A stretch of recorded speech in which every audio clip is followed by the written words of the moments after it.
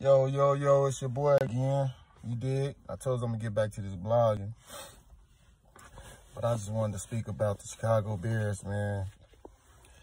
They regrouping. They rebuilding the team. You feel me?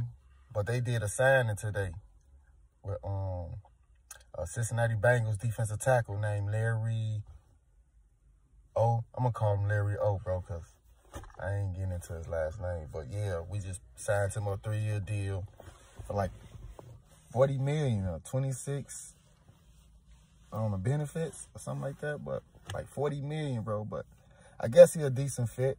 But we should be focused on the offense. You know what I'm saying? The offensive line. But I guess they gonna get that fixed soon. You know what I'm saying? Because they is regrouping. They rebuilding the Bears. I'm excited for the 2022 um, season coming up. I want to see what they going what they gonna do, how they gonna play. But they need some um, some protection for Justin, man. Get Justin some protection. They'll probably be a playoff team. And I want to see what Rodgers on, man. Rodgers ain't signed with Green Bay yet. He ain't signed back with Green Bay. I'm thinking he will, though. But if he don't sign back with Green Bay, bro, we fucking around can run the division, bro. Fuck around can win the division. We still got the Vikings and the Lions, but the Lions ain't on night. And the Minnesota, they mediocre right now.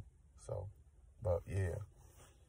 Tune in, like and subscribe, man. What y'all think about the um free agent signing with the um, defensive tackle from Cincinnati Bengals? Let me know what y'all think about that free agent pickup. And do y'all think we should be focused on the offensive line or the offensive side of the ball? Like and subscribe. I'll be back with you when I get some new news.